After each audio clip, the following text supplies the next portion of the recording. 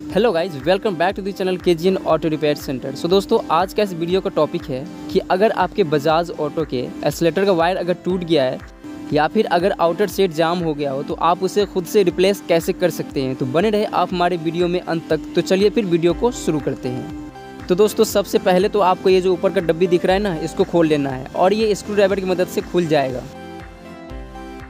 यहाँ पे एक नट नहीं खुल रहा है, इसलिए हम डब्बी को कुछ इस तरीके से घुमा दिए हैं।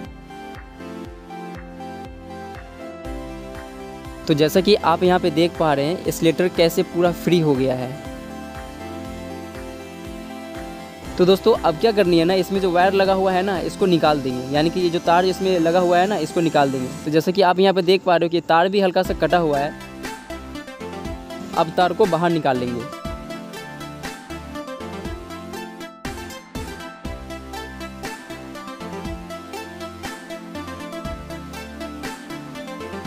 अब दोस्तों, ये जो वायर है ना, इसको अब आउटर से बाहर निकालना है तो इसके लिए हमें इसको मुंडी को काटना पड़ेगा। तो चलिए फिर इसको काट के, फिर पीछे इसका ना मक्खी लगा हुआ है।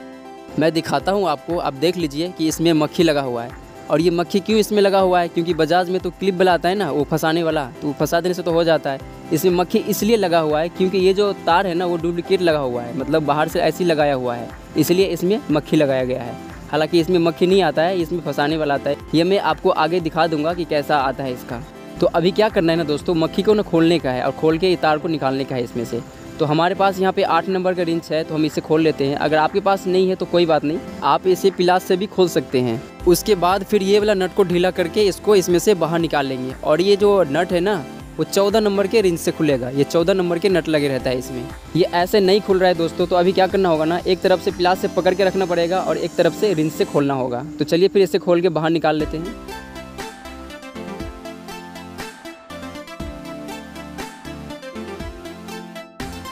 इसको खोल लेने के बाद दोस्तों, अब ना आउटर को ना बाहर निकालने का है। लेकिन दोस्तों आउटर को ना पूरा खींच के नहीं निकालना है। इसको क्या करेंगे ना, इसको बीच से ना काट देंगे। और उसी में वाइंडिंग वायर लगा के फिर नया वाला आउटर को बाँध के उसके बाद उसको ऊपर में खींच लेंगे, जहाँ पे हैंडल है वहाँ पे। और दोस्तों, नया वाला आउटर को इसलिए फंसा के पुराना वाला के साथ खींचेंगे क्योंकि आगे की तरफ़ जाते जाते ना वो जाम हो जाता है, वो फंस जाता है और खिंचाता नहीं ऊपर। इसलिए पुराना वाला के साथ बाँध के उसके बाद पुराना वाला को खींचेंगे ना तो उसके साथ नया वाला भी खिंचा जाएगा। वैसे ये आगे दिखा देंगे आपको कैसे करना है इसको। दोस्तों, अभी जैसे कि आप देखिए कि यहाँ पर एक कट हल्का सा लगाए हैं, पिलास से हल्का सा चाप के तो आपको ना वैसे करना पड़ेगा क्योंकि उसी में वाइंडिंग वायर को बांधना है। तो क्या होगा ना कि वो स्लिप करके निकल जाएगा वाइंडिंग वायर और हमारा जो आउटर नया वाला वो बाहर ही रह जाएगा। इससे अच्छा है कि उसमें कट लगा के, फिर उसमें वाइंडिंग वायर बाँध के, उसके बाद उसको खींच लेंगे। तो वो आसानी से ऊपर निकल आएगा। तो आप ना ध्यान से देख लीजिए कि कैसे किया जा रहा है।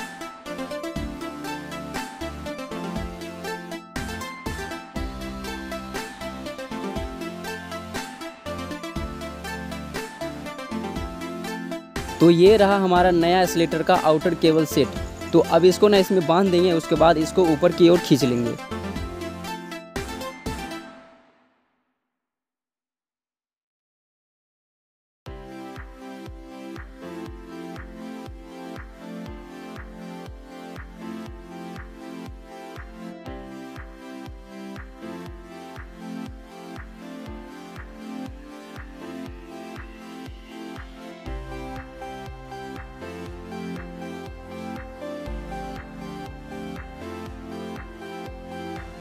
तो ये बाँध दिए। अब इसके बाद आगे जाकर ना पुराना वाला आउटर को ऊपर की ओर खींचेंगे तो नया वाला हमारा आसानी से निकल आएगा ऊपर।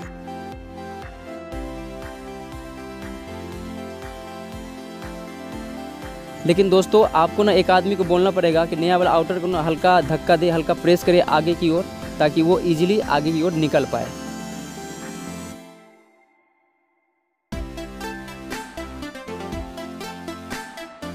तो जैसा कि आप यहाँ पे देख पा रहे हैं कि हमारा जो नया वाला आउटर है ना, वो अब ऊपर की ओर निकल चुका है। तो अब क्या करेंगे ना इसको? इसको जो खाँच है ना, उसमें फंसाते हुए हैंडल के अंदर लेके जाएँगे और उसके बाद वहाँ पे उसको एसलेटर में फंसा देंगे। लेकिन उससे पहले ना इसको खोल लेते पहले, जो पुराना वाला आउटर नया वाला आउटर को लगा के रखे ना मतलब बाँध के रखे, उसको पहले खोल लेते। उसके बाद इसको फिर एसलेटर में लगाएँगे। तो आपने इसको ध्यान से देखते रहिए कि किस तरीके से हैंडल के अंदर लेके जाया जा रहा है।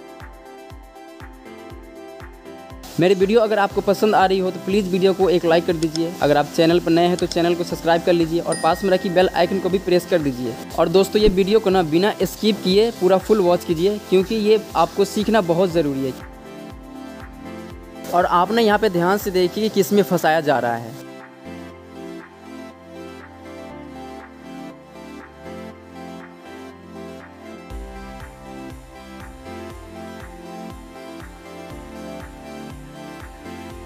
तो यहाँ पे ना तार सही तरीके से फंस चुका है।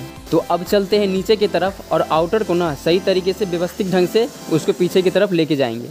और आप यहाँ पे ध्यान से देखिए कि किस तरीके से कहाँ कहाँ फंसाया जा रहा है और फंसा के पीछे की तरफ़ ले जाया जा रहा है।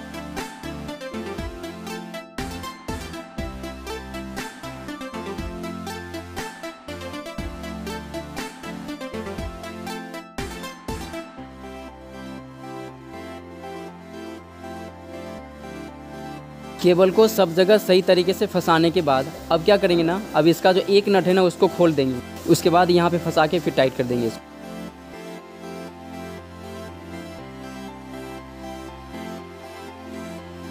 दोस्तों, मैं इसी के बारे में बात कर रहा था कि जो बजाज का ओरिजिनल होता है ना वायर, उसमें इसी तरीके के फंसाने वाला होता है। उसमें मक्खी नहीं लगते हैं। और तार को फंसाने के बाद फिर नोज़ प्लायर से इसको हल्का सा ना दबा देंगे। ये अभी क्या है ना कि निकालते वक्त फैल गया था तो इसको अभी थोड़ा दबा देंगे।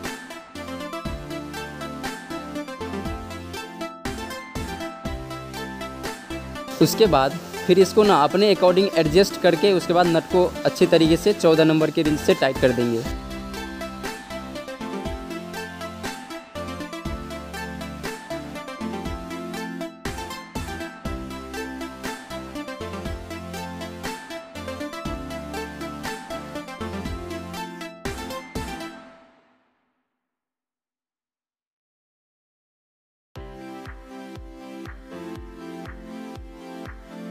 तो इसको तो अच्छी तरीके से टाइट कर दिए अब उसके बाद ना एक बार चेक कर लेते हैं।